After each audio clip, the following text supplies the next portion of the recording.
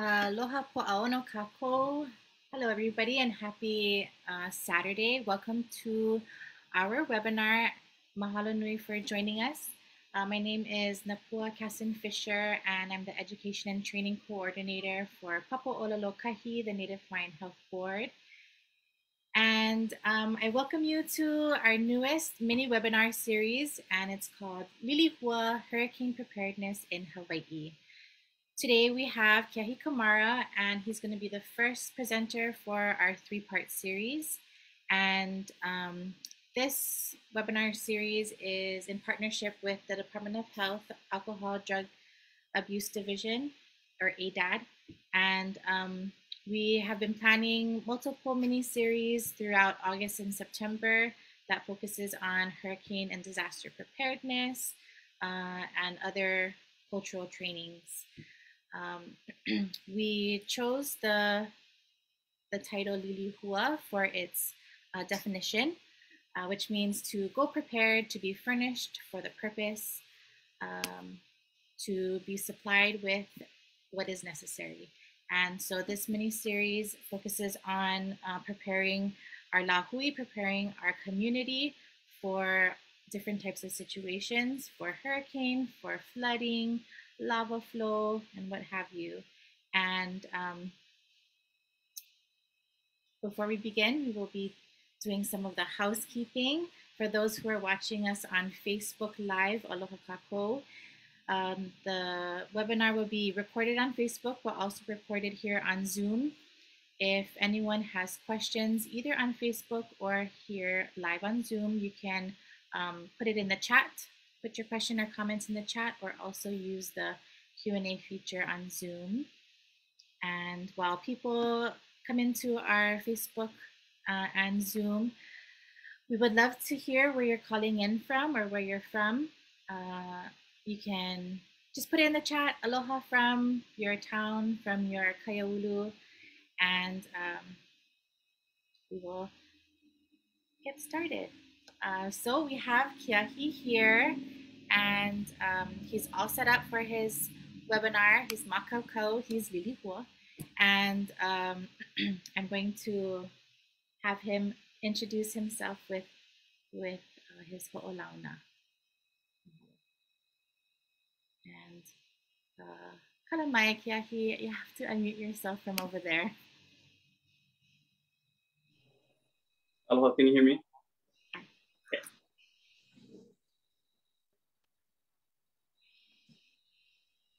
Hello, everyone. Um, my name is Keahi Camara. Uh, mahalo to Napua and everybody at Papa Ola Lokahi um, for putting this on.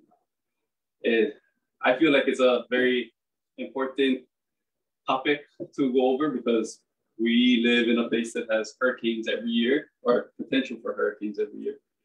So, uh, so mahalo to you folks for facilitating this. Um, and if you haven't watched Mahi'ai's video, the first video of the series, I would suggest to go watch that because he had a lot of really good information um, just on the general preparedness. Had some things in there that I forgot to put on my list. I was like, oh, yeah, maybe I should do that as well. Um, but yeah, a little background on me. Um, I was born on Molokai. Um, we moved to Hilo on the Big Island when I was five. Lived there most of my life. Grew up there. Uh, now I live in Kaneohe, Oahu with my wife. Um, I have a degree in tropical ecosystems agroforestry management. And I've spent a combination of about 10 years in different food production fields here in Hawaii. I've also spent numerous years working in conservation work um, all over the state. Uh, I so some of some of the fields that I worked in, I lived on a friend's ranch and I was a ranch hand for a few years in Ka'u on the Big Island. Uh, we're raising cattle. Um, I spent five years helping to develop uh, a USDA certified deer harvesting operation on the island of Maui with um, Maui Nui venison. I and recently we decided to become kalo farmers here on Oahu. And ah, so with all of those years of seeing different types of food productions, take a mental note of, of what things in our system as you know as a community might need some working on, um, what things are good, and you start to take note on the people who are doing really good things when it comes to like helping out the community, especially in these types of situations. Um, one of the big things for me getting into preparedness, especially for hurricanes, uh, in college, I, was required to take a course uh, in it was a natural disasters course, and it was a big eye opener for me. Prior to that, we we saw hurricanes, and I just I just thought, oh, it's, it's just a storm and whatever. But after taking that class, it really made me think a lot about the different dangers we have, and not to be scared of it or anything, but just to be prepared so that you don't have to be scared. You don't have to worry about it once you set up your system to manage those those events.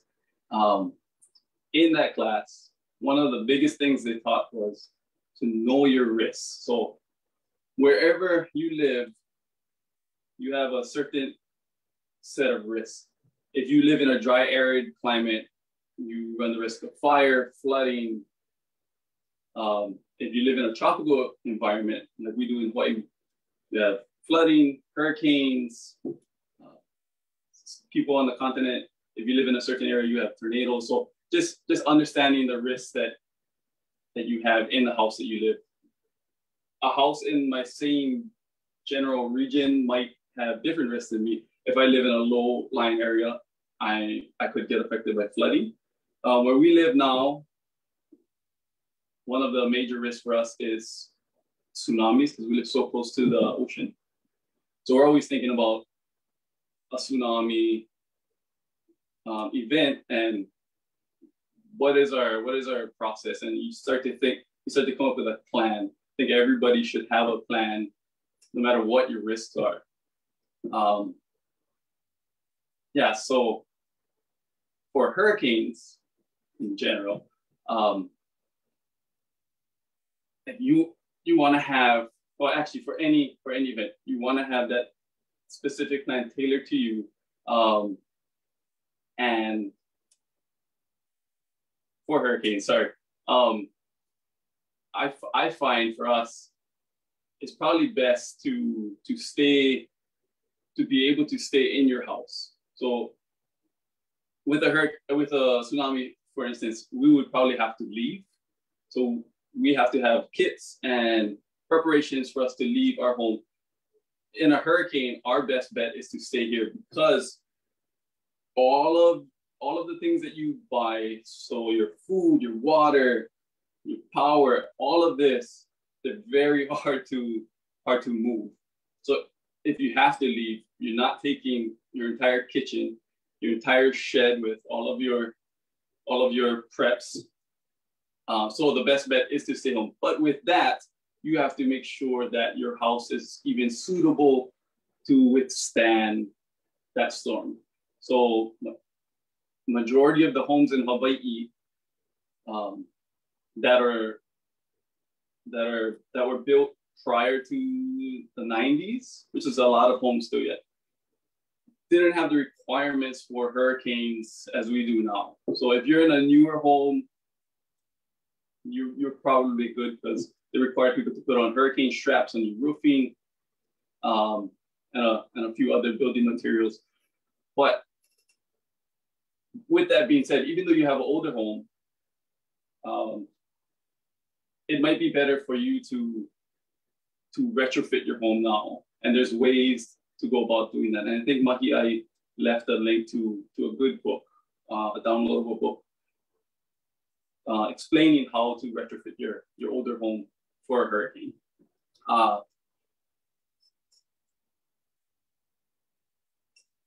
yeah, so I'll take a step back real fast.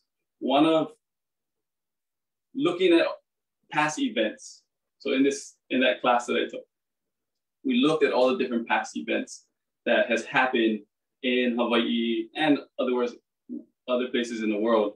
But for hurricanes, you have this history and you have the track. They have all the track records of every hurricane, how much damage it, it does. So it did. So the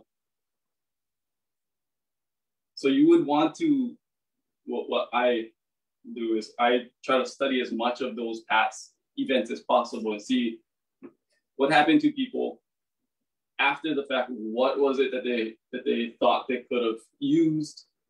What what they should have did better, and just kind of learning from everybody's, you know, not mistakes but experiences.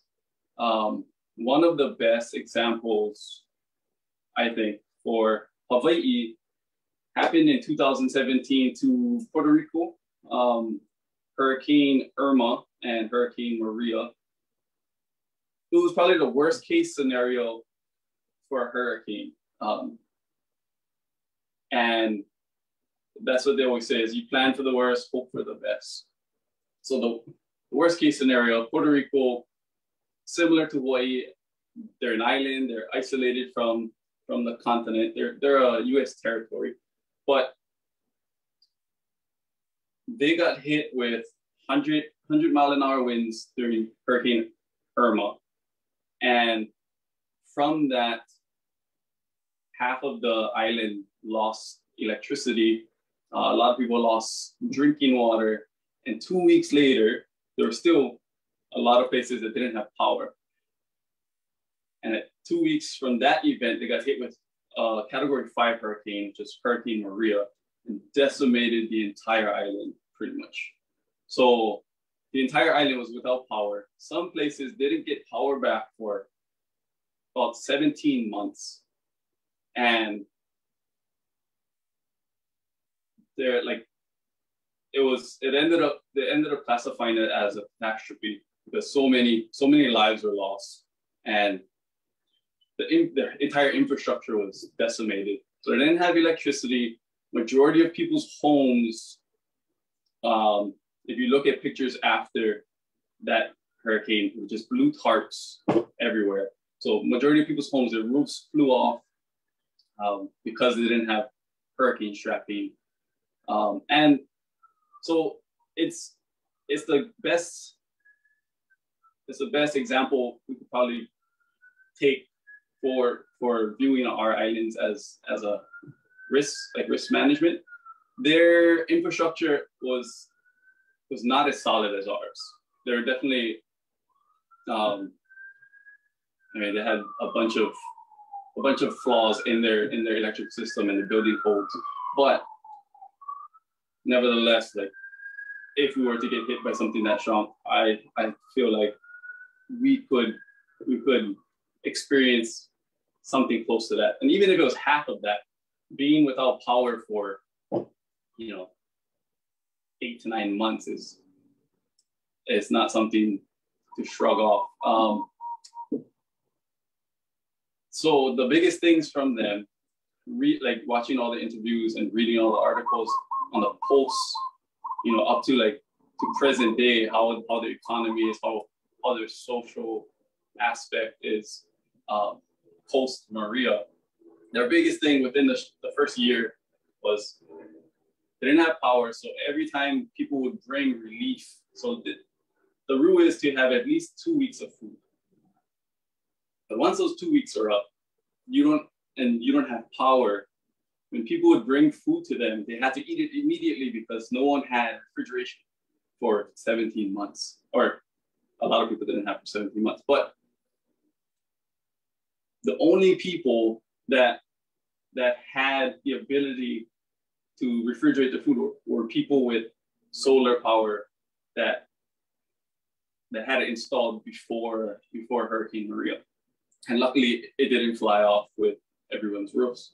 Um, so these few homes that had solar power, like standalone solar power off grid, they ended up becoming power hubs for the entire community. So people would come there to charge their phones just to, I mean, the communication was devastated as well. but they would charge, you know, other little battery banks to like go home and do like a little fan or lights or something. So looking at Hawaii, that is that's one of the big things I I feel like would would benefit is that having if everyone had solar power with a little battery backup system. So you could have a grid tie system that you still run through through the electrical company, but with a battery bank. What not what most people don't realize is if you have solar with no battery backup, if the power goes out because something is happening, even though you have solar, they cut your power, so you can't even use use the power at night because they don't want that electricity back feeding into into the lines while while uh, workers are are fixing it, right? But if you have a battery backup system, it cuts that off, so no one gets hurt on the uh, repair side. But your your system functions as a standalone, and in that event, that would that would make all the difference. If even if you had a ba- battery backup system that could only like in an event like that, all you really need is refrigeration, lights, um, everything else. It's is more luxury. But if if you can only have a refrigerator keeping food, keeping all like whatever you have in your fridge now, if that was to go if that power was to go out, you'd have to eat everything within the next few days. But if you had that battery backup system, it would give you more time to, you know, survive longer durations without power. Um, and you could, I mean, the more people who have a system like that, the more buffer it is on the entire community, right? Everyone can kind of help out, come to my house if you need to store food, um, and not rely so much on pulling from from the grid, and it actually helps the grid out a lot. Um, the second big thing took away from Maria was water. People, after a few months, were getting were dying and getting very sick because the water was super questionable. Um, they were digging their own wells, but it was like there was instances where it was dug wrong because it was an emergency. They just dug it and it was downhill from people's cesspools and, like instead of messing with that, uh, the recommendation is to stock up on water. And for years we stocked up on water, and the tendency is you you buy all these bottled waters, and a hurricane doesn't hit. Then for the next year, you end up using something like if you're really good, you leave it alone. But most people are like, oh, okay, I'll take it, take it to a barbecue or take it to the beach. And it's and in the next year, you scramble to buy more water. So looking at that, we wanted to one limit the amount of plastic we consume every year during hurricane season. Um, and that water eventually is going to run out anyway. So you look at we looked at filtration systems and and how, how do we have something that could be based here that we could catch a, a lot of rainwater during the event with rain gutters and you know, any any water carrying system, so buckets, trash cans lined with trash bags. And we bought this filtration system. is It's called a Berkey, and it just it just sits on your counter, and we use it every day. So there's there's these black filter elements that go into this, um, and they can filter. So there's different. There's two different levels of filters. There's filters. Um, there's filters like the LifeStraws and and a few other Sawyers have it, but um, they only filter out parasites, bacteria, and protozoa. Whereas a Berkey water filter and a few other filtration systems, they're actually classified as uh, water purifiers. Um, so they they filter out all those things, but they also their mic their micron size, so the filter size, is so small. They also filter out viruses. So here in the tropics, we have to worry more about uh, about um, sorry, my dogs are working have to worry about viruses in, in streams and from from pigs and rats. And so with that being said, I could take this, fill this top part up with river water, and we could drink it. And it, it just it just gra- gravity feeds down. Um, it can hold up to six black filters in here. We have two, so it comes standard with two. And with those two, you can filter up to 6,000 gallons. So one system like this saves us so many years of plastic bottles. But on the flip side of that is in an event when everyone else runs out of water, this can turn into a community hub as well um, and can filter 6,000 gallons for people. And it's smart to have to have backup filters that don't get used at all. So we use this daily, that's why. But if you have at least two or three backup filters, give give yourself that much more runtime. So with the amount we drink, we'll probably change these filters out every four four years. Um, this whole system is kind of expensive. We bought this for about four hundred dollars, but the two pack filters only cost about $150.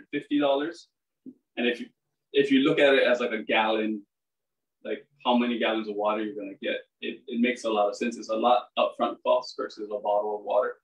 But um, what I've seen Berkey do is for disaster relief, they send just their filters to to disaster relief areas and they they retrofit food grade buckets. So I actually got two like this. So you you'll stack, you get your bottom up thing like this. You retrofit your filters and then you stack them.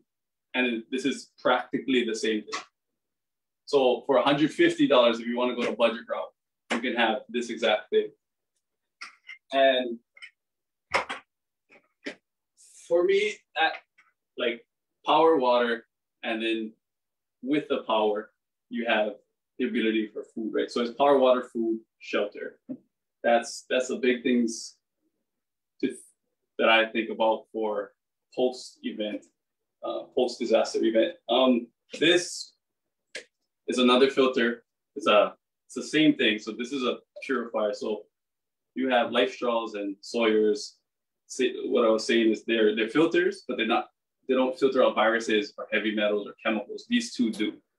Um, so I have this as well for in a case we have to leave, say there's a tsunami or something happens to our home and we have to leave in a hurry. And I mean, this is usually the first thing in our car. But if for some reason this gets forgotten, this is always in my bag and it's really easy. So you just take this, you scoop up whatever water source you always with filters you always want to try and get clean water already um, if you use dirty water you, you'll shorten the life of your filter but um, with this one you fill this up with water and it's just a press so you press this down and with the pressure of your body this this side is going to be filled with clean water and um, it comes with a filter cartridge, this orange cartridge right here. It's a, it's a bit pricey. It's $89 for this entire setup. Um, and this filter can filter up to 65 gallons. But in an emergency, and sometimes I go hunting in the backcountry and I don't want to carry so much water because it's, it's heavy. I'll find a stream and drink, drink with this. Um, and what I'll do is I'll have a backup cartridge so buy this. This is $25 for another cartridge. And this is another 65 gallons. So in this little package, I have virtually 130 gallons of water. And yeah, that's that's the, the two that, that's the biggest thing for me is water is very heavy. So a gallon of water is eight pounds. So if you have to walk, if you're if in an emergency you break down, your car is broken, you have to actually get out and walk, you're not going to carry that much water. We do still have some water bottles, So the good thing about water bottles in our bags is we like to use the smaller water bottles just because because it's so heavy. Um, you can distribute the weight easier instead of having one big thing like this. Um, and with the smaller water bottles, if we do come across people who need water, it's only easy to give them a water bottle and then we just keep going. And then I can always refill with this. Um, yeah, oh, so the next thing is probably food. With food, this is the traditional way you get canned goods, you know, for two weeks, they recommend. I would suggest going longer. Um, for us, we wanted to go as long as we, we possibly could. Eventually, being able to self-sustain ourselves indefinitely. That's the goal. But the reason for us trying to strive for that is in an event, there's always going to be people who aren't prepared. So instead of having your base necessity, so two weeks, having a little extra where when someone comes to you, you don't have to turn them away like, no, we need this for us. You say, looking at the event, how bad it is, you have to manage how how long you're expected to not get, you know, replenished with your food sources. Um, and then you can, but with with having extra food, you can mitigate that, right? And say, okay, yeah, we have enough here. Here's some food for your for your ohana, and then it, then it's less stress. Like you don't want to like give away all your food because then your own family will be will be at risk, but at the same time, as an entire community, thinking about how not, not only to sustain yourself but everybody else as well. Um, the one thing I mean, we've we've looked into this a lot over the years.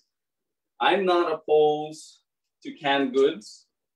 So the idea when we got into it is canned goods are are great for an emergency, like or even maybe not the most healthiest food. Um, if you use it for just that, for an emergency, just to get you through, and that's it, it's the unhealthiness of it shouldn't impact you that that much. But what happens with canned goods is everyone will stock up on canned goods. And if you do buy canned goods, I would suggest um, buying things that you can open up and eat. So like soups, you know, a chicken noodle soup or anything you can just open up if you don't have a heating source. You're not you're not stuck with a, a can of uncooked food. Um, the thing with that is if you get unhealthy canned food, um, they they have a shelf life. So whenever you, any food that you get has shelf life.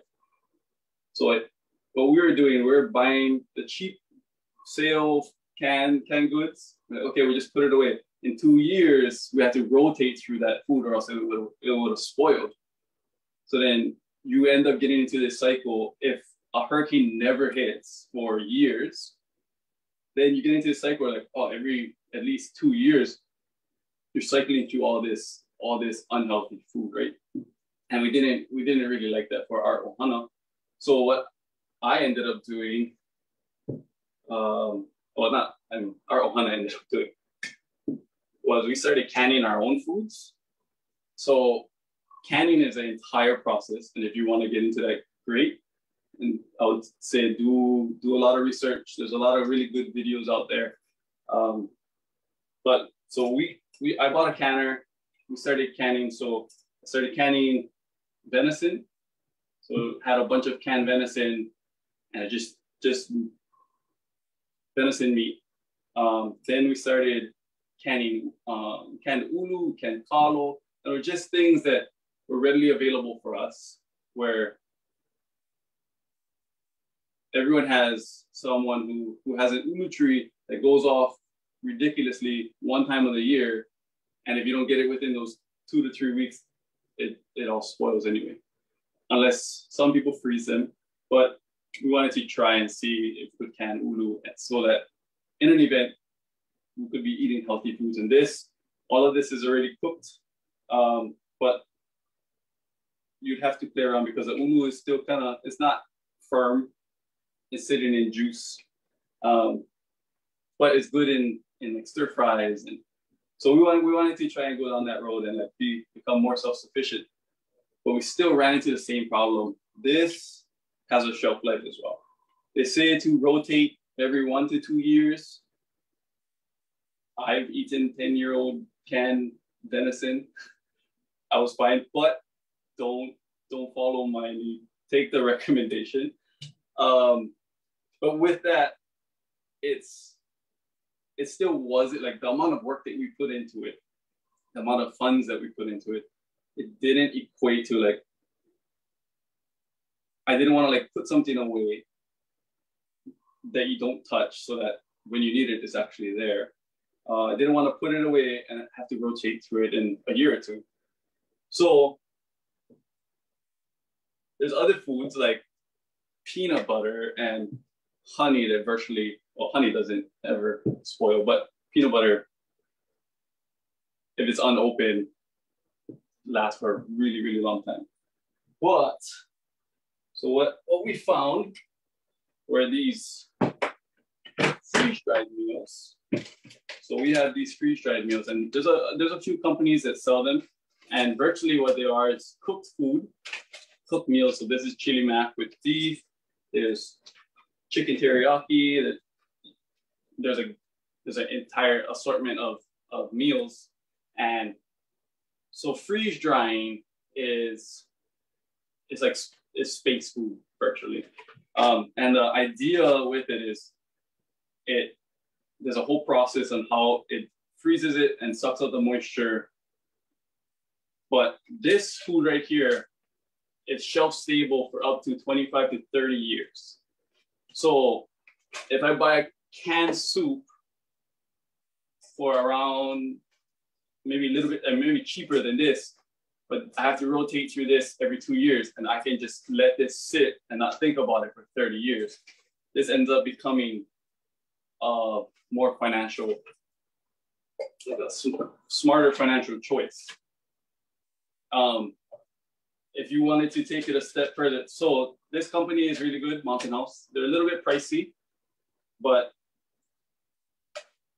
with that 30 year shelf life, you could go buy buckets. They sell food buckets of these, and you might spend a few thousand dollars getting enough food for you know a few like a month or two for your entire household.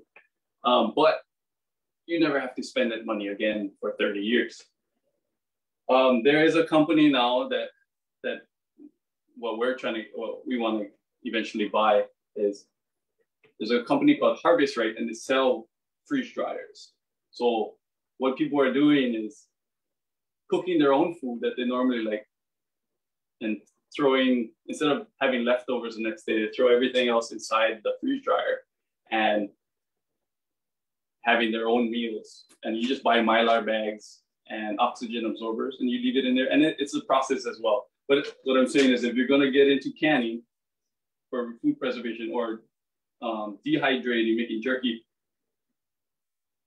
all of it is a process. So in my thinking is if you're gonna go through that process already, freeze drying is probably hands down the most benefit for the time you put into it. Um, but at least with a freeze dryer, you can determine what goes in, just like how we determine what went into these cans, you can determine what goes into these bags. So you could have, um, you could have your own meals. The, one of the other important things we took away from Hurricane Maria is when FEMA and all these relief efforts came in and they brought in rations for everyone. Rations didn't live up. If, I don't know if you ever eaten an MRE uh, military food, but they don't necessarily bring up your morale or your, you know, your the psychological benefits of that food is very limited. Whereas if you had freeze dried meals, which we've eaten a bunch of these and they taste exactly like the day you cooked it, pretty much. Um, they, I mean that that having a home cooked meal will boost your self not self-esteem, but will boost your morale in your family after an event like that. And that's the big one that gets people is the psychological damage after an event of that magnitude. Um, yeah, by having clean water and you know home style meals that you're used to, that your ohana is used to. Um, you could eat canned goods. I would say if your ohana isn't normally used to eating that type of food, have certain medicines to help you deal with like any gut issues. A lot of people don't think about that. It's you know laxatives or antidiuretics. Um, that's a it's a big it's a big issue when especially when you're eating ration food. Um, yeah. So with that, I'm going to so oh, also if you're gonna store anything, food grade buckets are very good.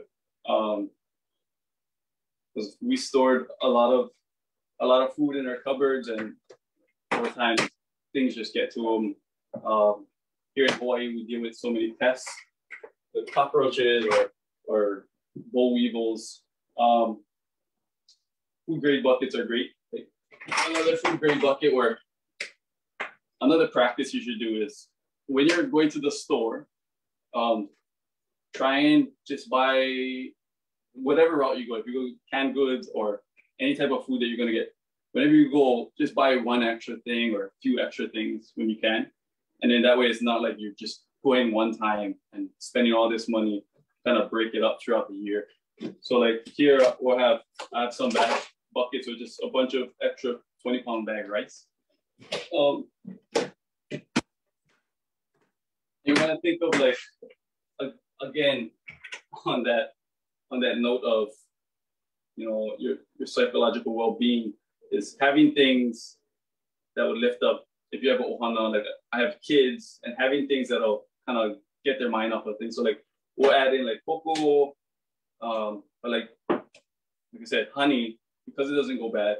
And after an event, having something sweet and still healthy um, goes a long way.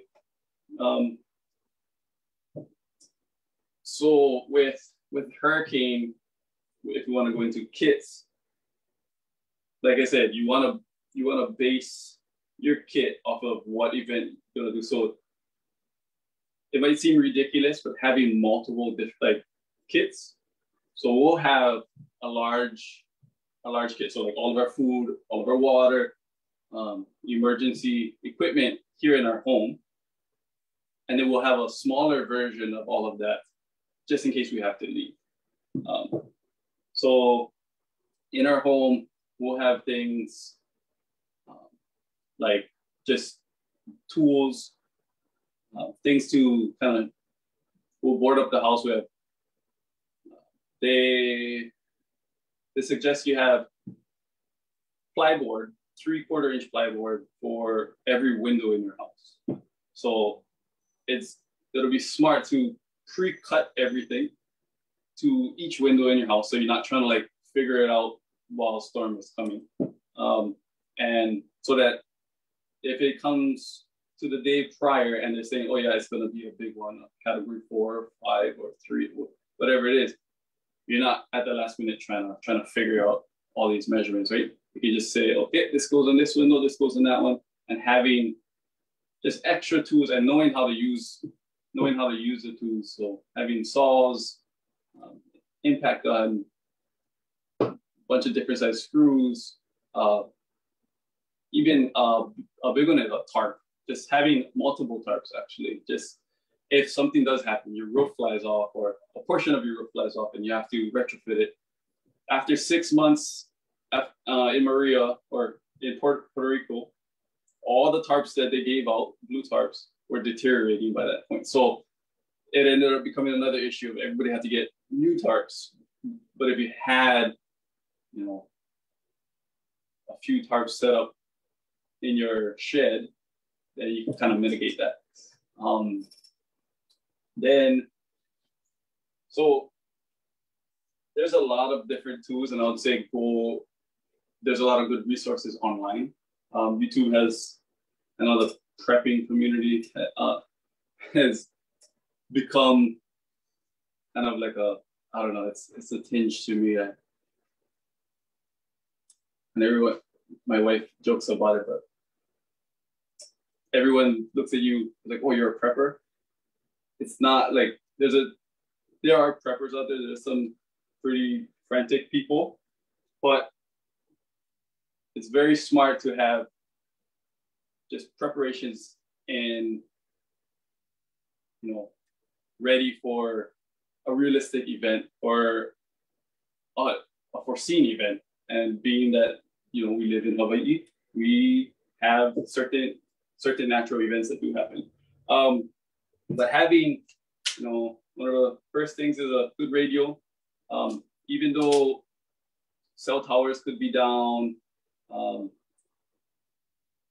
usually AM FM radios. That's how the the um, weather advisory system they, they'll stay in contact with everyone. Um, these hand crank radios are great. They're they're not that expensive. They'll they'll take this one is rechargeable and it has batteries too. Um, batteries, sorry. And for for electronics, there's there's a lot. So you can have my suggestion would be to if you're gonna get flashlights, it'd be really great to include headlamps. Um, in an event, you're probably gonna be using your hands at night, trying to if something happens to your roof or your structure and you have to go and fix it, you don't want to be holding a flashlight and working with one hand. With a headlamp, you have both hands free. Um, and we've gone through so many different headlamps. Um, whereas AAA, AA, we really like these. They're made, there's a bunch of different companies. Like this one is Nitecore, but we like these because they're USB rechargeable and they last, last really good. Um, has a bunch of different modes, high beam, low beam, and a red light. So at night, you don't lose that your um, night vision if you have to use your red light. And we'll have like battery backup banks. And this this with that works really good. Um, having so we we used to buy a bunch of batteries instead of using those. So like I have a bunch of batteries stored up. You buy these containers so that you don't want batteries touching each other while they're stored because they'll they can drain. But we ended up switching over to these. They're called Eneloop batteries, Eneloop, and you can buy them on Amazon. But they're double A. They have an assortment of batteries, and they're rechargeable. Um, they last a really long time, and we bought a few of these packs, and we haven't bought we haven't bought batteries in in years, just because everything's in rechargeables now, which is great. Um, another good one. Well, anyway, there, there's there's a lot of of gear out there that that you, you can get. Um, it's, it's all dependent on what you need and what you're capable of using, right? So say like this, like I'll have a first aid kit. This is our home one. It's too big to carry in our stuff. But I'll have a first aid kit and try to get a pretty heavy duty one for our home. But with first aid kits is a perfect example of if you don't know how to use this in an event, it's good to have all of these things. But if you don't know how to use it, then it's hard, it's hard to to use it. um, so with that, it'll be smart to, if you're gonna get kit like this or any type of equipment, to go and try and do extra learning, like how to, how to do you, like re up on first aid every every couple years, um, CPR, all of those things are really useful to have. And it's, I mean, it all depends on how how far you want to go with it. Um, like this, this is a tourniquet. It's a little tourniquet that I usually keep on me if if I feel like there's chance that we could need it. Like in an event like that, I would have this on top of me. So this is just to stop major bleeding on like a limb. There's a bunch of different tourniquets, but if you don't know how to use something like this, then I mean, if you do know how to use something like this, you could potentially save save a life, right?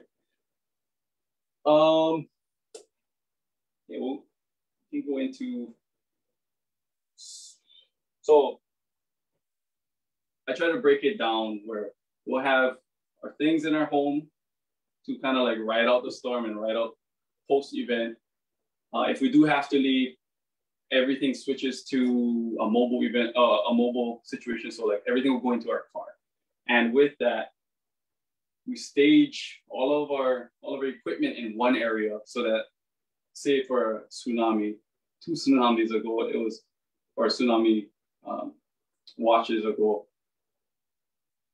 try to get everything into the car and I timed myself just to see and I took way too long. And luckily a tsunami didn't come. But then after that, it really got me thinking, like, oh, okay, we should, instead of running to different rooms in the house, have it, everything in one spot. So now this last tsunami watch, were, everything was inside of our, our closet, um, one of our closets in our home. And within 15 minutes, everything was loaded. So it made a big difference having that organization in one spot. Um, you could, so with that, now instead of fortifying your home, you you you gotta start thinking about your house being your home, right? So I usually have this in my van at all times. It's a bucket with a tool bag, but this is everything that I need to for most cases, get my car unbroken on the side of the road and get home. It's not gonna, it's not gonna do any major diagnostic stuff, but in any event, that's the last thing you want to do is you leave your house and your car breaks down. Um, so it just has a bunch of tools, and with that, like I'm also the family mechanic, so I have that skill set, right? um, like pull straps. You know, this everyone I think should have a good. Um, see, it's like a just a general two set mechanics or even homeowners tool set that has all your wrenches, um, socket sets, Allen keys, and this right here, this little box has fixed many a car and it's not that expensive on Amazon. Like there, there's a bunch of different ones, and same thing. You go to your skill level and what you feel comfortable with. Um, how I started was as a car would something would happen to our car. Luckily, I had an uncle that was a mechanic. I would take the car to him and ask him if he could help me fix it. But every time he would work on it, um, I would ask if I could work work on it with him so that the next time it happens, I know how to fix it, right? And it's just taking that initiative um, to do that. I think everybody should at least know how to fix a flat tire, um, check all your fluids in your car. Tire pump is very useful. I never used to have one. Now I do. And instead of trying to, like, if it's a small puncture, instead of trying to fix it on the side of the road, you just keep fitting it up every few miles ends up being a little quicker. Um, then we'll go into, so we'll have our backpack. So say our car breaks down, um, and I always carry at least one or two gallons of water in the car for either an overheated car or we normally always use it to wash off at the beach. And I just keep refilling this and throwing it back in. But it's very useful if you have to drink water. Um, you want as much of your kit, like once you start leaving your house, you have to start thinking about weight, size, um, and then you you want to start thinking of things having multiple purpose, like this water, like having it for the car, but having it for us if we need it, or you know, number of things. The more one thing can can do multiple functions, the better. Um, then we go into bags. So if our car breaks down, then we have to throw bags on our back and start walking someplace. So I'll have something like this. Everyone in our house will have a bag. Um, I'll have majority of the things for, for everyone. And then each person, so I break it down into adult bags. So me, my wife, and our oldest son, they'll have their own bags. And in those bags, oh, so I have something like this, like a bigger bag that carries more things. And this is um, my son Kioli's bag. In those bags, we'll have multiple compartments. So for the adults, I like to have a, everybody should have a hat. So like after the event, it's very hot um, for weeks, usually very humid. Having a hat to keep you from getting sunburn on your head is very important, but it also helps regulate your body temperature. Um, toiletries, I'm not a big fanny pack kind of person, but if I did have to get out of my vehicle, I'll, I'll throw a fanny pack on. Just like the more things you can have on your body, the better. So that if something happens, like you fall in a river that's flooded and you lose your bag, you'll still have like I always have a knife in my pocket. Oh, I think everyone should have a multi-tool, so and know how to use it. So we like to teach our kids how to how to use these things. It's kind of scary having them use a knife, but slowly getting them used to start them with a butter knife, work their way up. So our son knows how to use. He has his own multi tools. Um, these are good because you have knives, you have saws, you have screwdrivers, and it's just like I said, multiple uses in one one thing. Um, so in this in this fanny pack, this becomes at that point, this becomes survival 101. Like there's there's many different um, ideologies on like survival. Like there's a bunch of different survival schools, and we're kind of into it. Uh, so the things that the biggest things should have is a knife, cordage, um, rain protection, or like a good one if you had to carry it. All of our kits have, so all of our kits have this, but all of our kits have plastic trash bags, large trash bags. This has so many uses. Like in an emergency, you could use it as a tarp to go over you. You can use it to lay on. Um, you can even poke a hole on the bottom and use it as a poncho. Very useful. Um, I have duct tape. Um, I usually have in all of our packs, we'll have some snacks just just so as we're walking, we don't have to stop we have a snack on us, just pull it out. Um, realistically, we probably won't walk too far from where we where we have we have a lot of friends and family around us, uh, but just in case. Uh, let's see. This is another good one. I never knew about this. This is called a Silcox key, and you can find it on Amazon.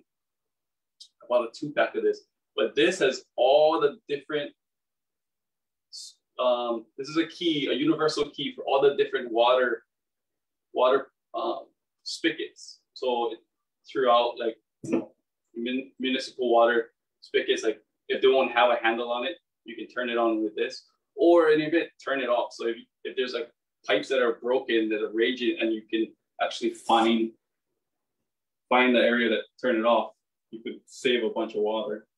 Or if you needed to, you could turn on water and like use it for an emergency. I wouldn't suggest using it outside of the, uh, outside of an emergency because I don't know the legalities of that, but we'll have it in this kit. Um, everybody will have their own medical kits on hand, first aid.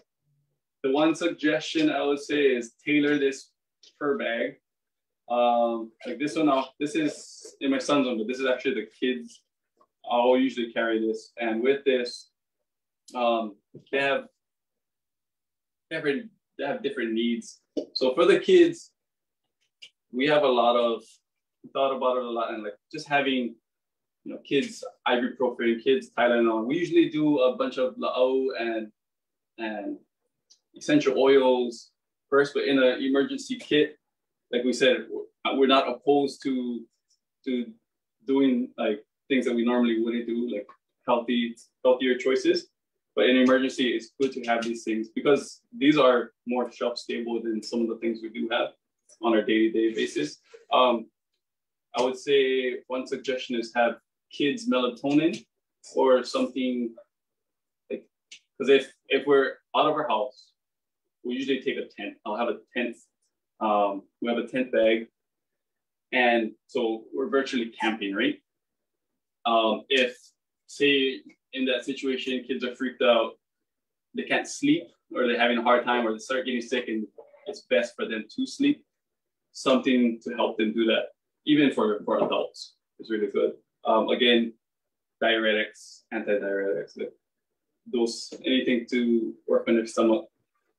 Going back to multiple uses, um, I'm always thinking in our medical kits is um, like major major bleeding. So if somebody gets cut or we get into a car accident, having stuff to stop bleeding in that emergency. You, I mean, you don't want to get cut at all. You don't you know don't want to get infections, but especially the, the huge bleeding. A multi-purpose for us, women's menstrual pads. Um, they're really good at stopping bleeding. But then if say um, somebody needs it for normal reasons, you have it there as well. My wife giggled at that one the first time she saw it, but I think it makes sense. Um, all of our all of our bags have some type of metal container, so that if we lose this, if we lose this, I can always take this metal container, fill it up with water, and boil it. Everybody has a way to make fire. Everybody has lighters, uh, lighters, knives, a few tools, but pretty much, pretty much that. You can get these space blankets too. They're they're they're good. Most of the space blankets are single use, so just know that. And I hear a lot of people say, "We'll get space blankets and those cheap ponchos," but if you ever used one, like actually tried to use one, they rip very easily. Uh, there's a few companies that sell heavy duty ones. Those are good. Yeah, and there's especially in the last few years, the the preparedness community has come a long way. Um, another good first, uh, good thing to think about for your kids, if you have kids, is having things that they can do in an event. So for me, I feel like post event, natural disaster, I would probably my skill set, I'll probably go and see where I can help in the community. Um, so another thing you should think about is having tools to, there's gonna be a lot of cleanup after a big event. So having tools to help out with that. Um, shovels, rakes, um, chainsaws, like there's gonna be a lot of down trees. Um, just be careful after an event. If you are gonna help clean up, I would say do it in a community effort where there's some organization. The last thing you want to do is go out and be gung ho and fixing someone's roof or and get hurt. Um, emergency personnel are probably going to be swamped with with other cases, so you don't want to add to that, especially nowadays, like with with a pandemic going on. Like the last thing you want to do is have to be sent to the hospital. Um, so having like work gloves, you know, proper footwear, all of those things come into play. Um, but having things for the kids is a good one. So we'll have like coloring books in their bags. We'll have, you know, they'll depends how bad it is, but we'll have we'll have their iPad um, if we have power. Just something to keep their mind busy while like we're doing stuff. We'll have somebody watching them, and like, so I'll I might go out and help. Um, but yeah, just keeping everybody from thinking too hard on, on everything. Um, okay. Aloha, Sorry. Jackie. No. um, we're at our four o'clock hour, and we oh. are so appreciative of all the ike and sharing that you um, provided today. Did you um, did you want to leave the audience with any last last thoughts, last but not all? Um, uh, just kind of like what I was reiterating. Um, oh, so the big thing after an event is, I would say, is to have community. So building community now, and having that, having that backup after an event. So having like instead of buying food, canned goods and stuff, having a local farmer or local rancher that you know that you can go and make a relationship now. So in any event happens like that and say there isn't food to go get at the grocery store, you already have that connection with the source. And most times it'll be more beneficial to him to sell direct to you and more beneficial for you to buy direct. So having whatever, if it's a kalo farmer or a rancher or a tomato farmer or somebody with tree, uh, fruit trees, make those connections now because it'll only buffer the entire system when an event happens. And an event will eventually happen. Um, so getting ready for those things and like, and it, it just helps the whole community even without the event as well. I think that's a really important thing to think about. Yeah, mahalo.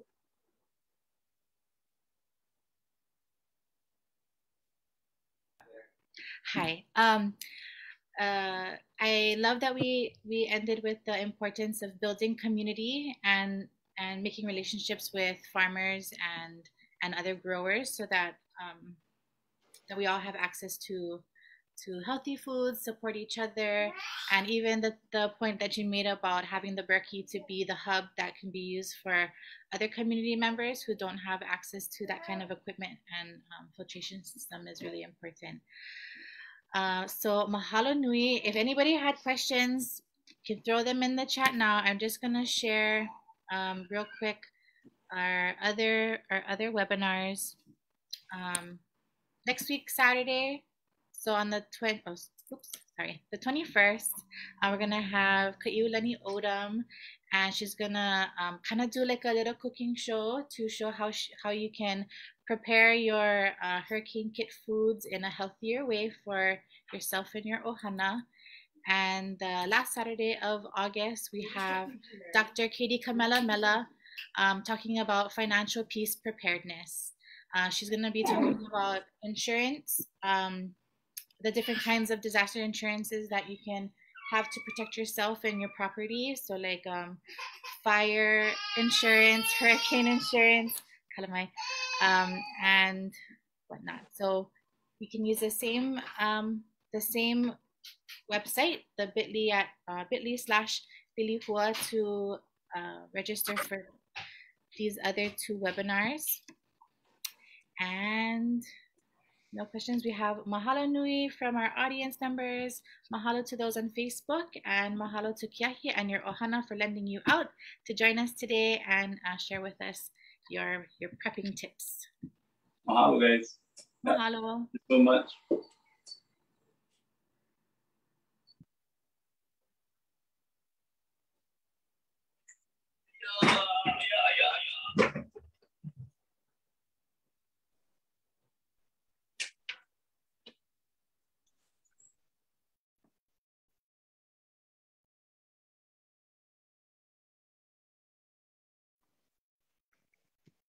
Mahalo for taking the time out.